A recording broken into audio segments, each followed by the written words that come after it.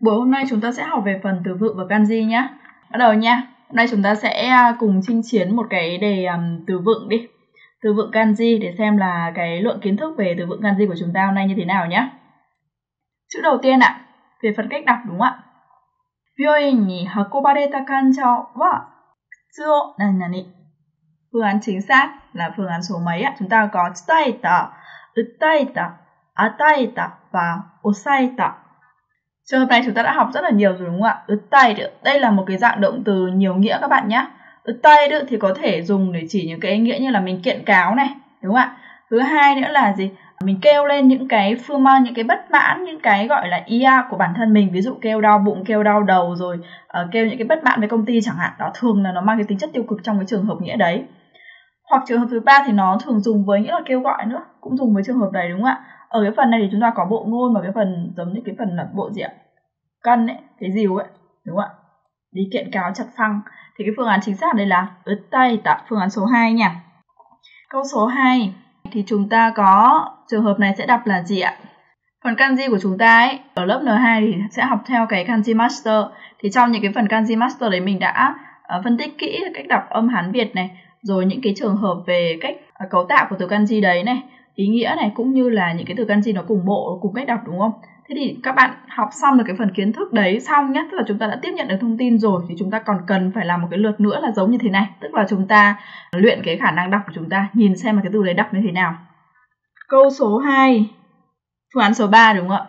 Hai độ, nhé câu này mọi người hiểu nghĩa không ạ chúng ta có cái mẫu là thuê và nhắc đến cái gì đấy thì chúng ta thường nhớ đến những cái tiêu biểu, những cái đặc trưng, đúng không ạ à nếu mà nói đến cái loại vest vest này thì có hai loại màu, đúng không ạ? Một là con ido. con ido thì theo kiểu như là cái màu xanh thẫm ấy. Xanh sậm đậm. Tiếp theo là cái dạng màu cho, những cái kiểu màu rất là phổ biến ở bên Nhật, đúng không ạ? Hai độ. Thì người ta sẽ nhớ đến ngay đấy là một cái gọi là cái thê bang Thê bang tức là cái kiểu theo điển hình. Nhắc đến cái A thì người ta nhớ đến ngay. Đúng không ạ? Business với no thê băng đã. Thì đấy, nhắc đến hai cái loại cái loại vét hai màu đấy thì đấy chính là hai cái loại màu mà gì điển hình trong những cái trang phục gọi là ở môi trường business nhé thê bonds nhé những cái điển hình hình mẫu luôn đấy nhắc đến là người ta nhớ đến ngay đây chúng ta chỉ quan tâm cái phần hai độ nhé à, đặt bằng âm cưng tiếp tục với câu số 3 Kino no 交通事故で3人の高校生の命が何々 chúng ta có 奪われた、かばわれた、構われた và 見舞われた。奪う đúng không? Cái động từ gốc là 奪う trong trường hợp này được chuyển thành ubawareta. Inochi ga ubawareta. Bị cướp đi sinh mệnh đúng không? Tức là ra đi ấy, bị chết ấy. Trong cái vụ tai nạn hôm qua thì đã cướp đi sinh mệnh của uh, ba em học sinh cấp 3. Còn với kabao thì cho ý nghĩa là gì mình che chở đúng không ạ? Che chở bảo vệ kabao đấy. Kamao. Kamao trong cái trường hợp là kamaimasen có đúng không?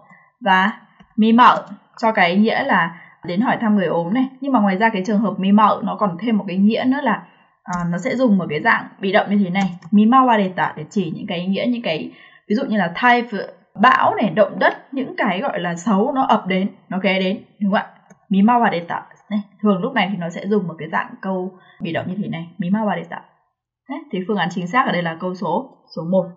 Tiếp theo nha, cái phần này thì mình nghĩ là mọi người sẽ có thể dễ dàng trả lời được thôi. Câu số 4 ạ.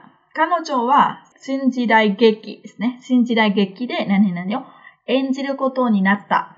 Đã được quyết định là sẽ enjiru. Này đọc là enjiru nhé. En trong từ engeki desu ne.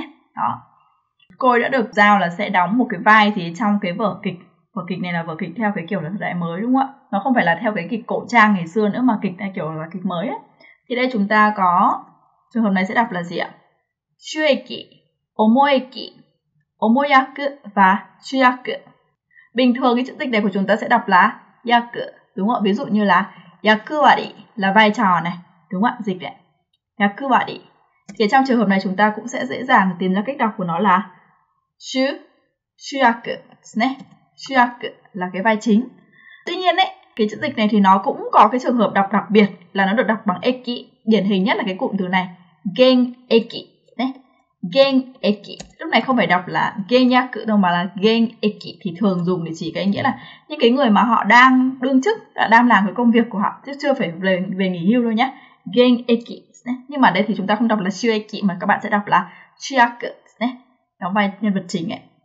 Phương án thứ tư tiếp tục với câu số 5 ạ ハイキングに行くときは何々などを持参してください。từ này sẽ đọc là 持参 bằng với 持ってください. Khi mà đi dã ngoại thì hãy mang theo những cái đồ như là gì đó. Chữ cụ này thì nó sẽ ghép đằng sau để chỉ những cái đồ dụng cụ đúng không? Và cái trường hợp này là một cái trường hợp được đọc đặc biệt. Chúng ta không đọc là ame mà cũng không đọc là same mà trong trường hợp này các bạn sẽ đọc là gì? Amagu nhé những cái ví dụ như là dụng cụ để đi mưa chẳng hạn như là áo mưa chẳng hạn. Amagu nhé amagu ok thế là xong được cái phần mông đai thứ nhất. Thực ra cái phần mông đai thứ nhất là cái phần mông đai mà được gọi là dễ nhất đúng không ạ? Thường thì người ta sẽ hỏi về những cái cách đọc nó hơi đặc biệt một chút nhưng mà cũng có trường hợp thì người ta không có bẫy nhiều lắm đâu ạ. Các bạn ghi nhớ thì thứ nhất là à, những cái từ kanji mà được gọi là cái âm cưng của nó. Thứ hai là những cái trường hợp mà nó hơi bẫy một chút giống như là amagu tức là cách đọc đặc biệt nhé. Tiếp theo sang phần mông đai thứ hai này. 昨日の飲みすぎで体の調子が良くない。Chô thì các bạn sẽ dùng với từ kanji nào? Mấy cái từ kanji này thì âm cưng của nó đều đọc là giống như vậy đúng không?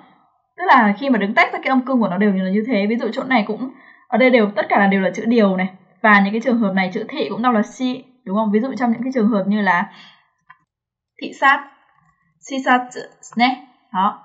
Hoặc cái trường hợp tiếp theo thử đúng không ạ? scan né, kỳ thi. Hoặc chữ chỉ dừng lại. Ví dụ như là juicy né, hủy dừng lại teshi né, thì đều đọc là cái âm như vậy. Người ta sẽ ghép những cái từ mà nó có cùng cái âm ôm với nhau. Vậy thì trong trường hợp này choshiga yoku này chúng ta sẽ dùng chữ điều và chữ tử đúng không? Phương án thứ tư. Câu này cũng gặp rất là nhiều rồi. Cảm giác người không được khỏe đúng không? Câu thứ bảy ạ. À. câu số 7 monogoto maemuki ni akaruku torae Kirakuni Ikiteiko. À, đây là một cái câu à, gọi là châm ngôn, phương châm sống đúng không ạ? Maemuki, cái nghĩa trực dịch là hướng về phía trước. Nhưng mà chúng ta sẽ hiểu nó là gì? Tích cực, đúng không ạ? Nó kiểu rất là tích cực. Rồi tiếp theo thì chúng ta có cái Thorae. Thorae ở đây thì người ta viết bằng cái từ um, Hiragana. Nhưng mà khi mà các bạn làm đọc hiểu ấy, thì các bạn cũng sẽ gặp cái từ Thorae này rất là nhiều. Thì nó sẽ dùng để chỉ nghĩa là chúng ta nắm bắt, chúng ta hiểu một cái sự việc nó như thế nào đấy. Vậy thì câu này là chúng ta hãy làm sao? Chúng ta hãy coi cái sự việc, mọi cái sự việc trên đời này nó, chúng ta hiểu nó theo cái nghĩa gì ạ? Tích cực, đúng không ạ? Tích cực. Mai mukini akaruku và chúng ta sống một cách gì? Nhẹ nhàng, vui vẻ, đúng không ạ? Kiraku kiraku ni ikite iko, ikite, ikimashou ấy. Thì bây giờ chuyển thành cái dạng này. Kiraku trường hợp này thì không đúng rồi. Chữ số 2 thì được dùng trong trường hợp là những cái tàu hỏa, đúng không ạ? Kisha còn trường hợp số 3 cái chữ lạc. 3 và 4 thì lại nhìn thấy là cái chữ lạc là với nghĩa là dụng, đúng không ạ? Thì nó không phù hợp ở đây, mà chúng ta sẽ dùng với cái trường hợp là gì? Phương án số 1 khí và nhạc với nghĩa là gì?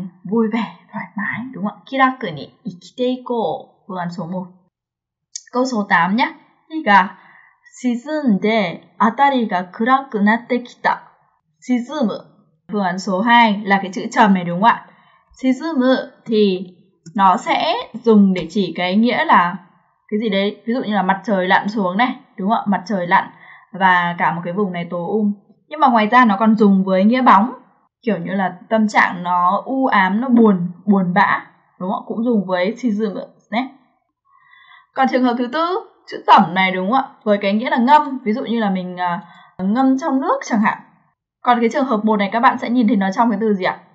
Vùi đầu vào cái gì đó đúng không tiếp theo nhé với câu số 9 này với trường hợp số 9 này chúng ta có từ là nakama.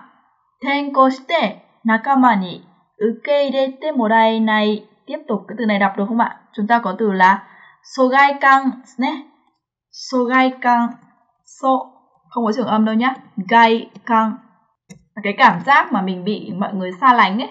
Đúng không ạ? Sogaikan o ajiwatta.